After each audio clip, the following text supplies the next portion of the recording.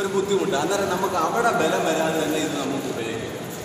അന്നേരം ഇവിടെ പൊട്ടിക്കിടക്കുന്ന ഭാഗമാണ് സംഗതി. അന്നേരം അതിനെ നടുപ്പ് വരത്തക്ക രീതിയിൽ ചുമ്മാ അതൊന്ന് വളർത്തും അപ്പോൾ ഇവിടെ നല്ല പൊട്ടിയിട്ടുണ്ട്. എന്നിട്ട് ഇതിന്റെ ഒരു ഭാഗം ഇങ്ങനെ പിടിക്കുക. അപ്പോൾ പിടിച്ചതിന് ശേഷം ഇവിടെ ഒരു ഹാഫ് പിച്ചിടണം കണ്ടോ?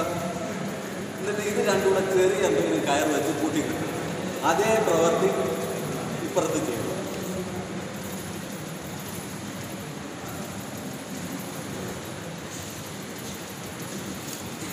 രണ്ട് കെട്ടി കഴിഞ്ഞാൽ കണ്ടോ ആ ഇഴ പൊട്ടിയ ഭാഗം ഇവിടെ ഫ്രീ ആയിട്ട് കിടക്കും.